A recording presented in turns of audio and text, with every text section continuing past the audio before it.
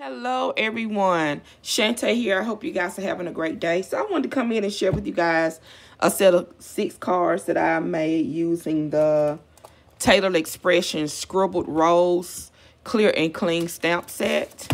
So you got the base on the bottom and then the stamps on the top to fill in the back pattern. Um, trying to use stuff that I have in my stash and haven't used um, in a while. I use Catherine Pooler inks. And then for the inspiration, I use the Color Cube System by Sarah Clark, Sarah Renae Clark, Volume 2. And I struggle with, if I don't have pattern paper, I really struggle with um, colors, picking colors. So um, I like these. Uh, and I bought the set that came with the digital version as well as the physical version just give you an idea. Hopefully, um, that'll give you enough. You want to more about it, just research. She has videos and everything. So, um, yeah, it really helped me quickly gather colors that I would never have picked together to make some pretty cards. So, um, I used the mini strip birthday to have and to host die set, stitch rectangles from Stamps of Life, um, Taylored Expression Petite Scallop, circles from Divinity, the uh, frame and frame two from Tailored, as well as the ring around the words, die set, and hopefully that's all I used. Um, I just been out, we off work for um Labor Day. Is it Labor Day? It's a holiday Monday, so whenever I post this video, it was a holiday. And so uh, I just been trying to make something while I've been off.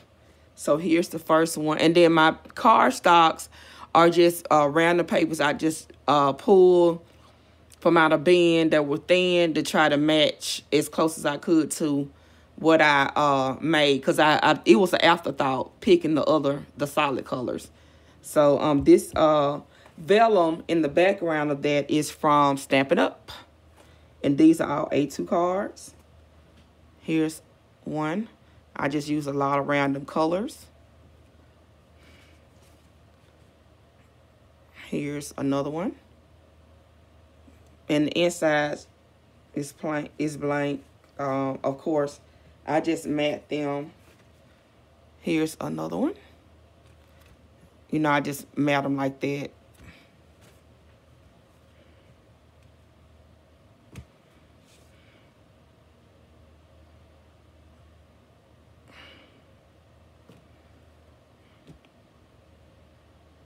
So I love this.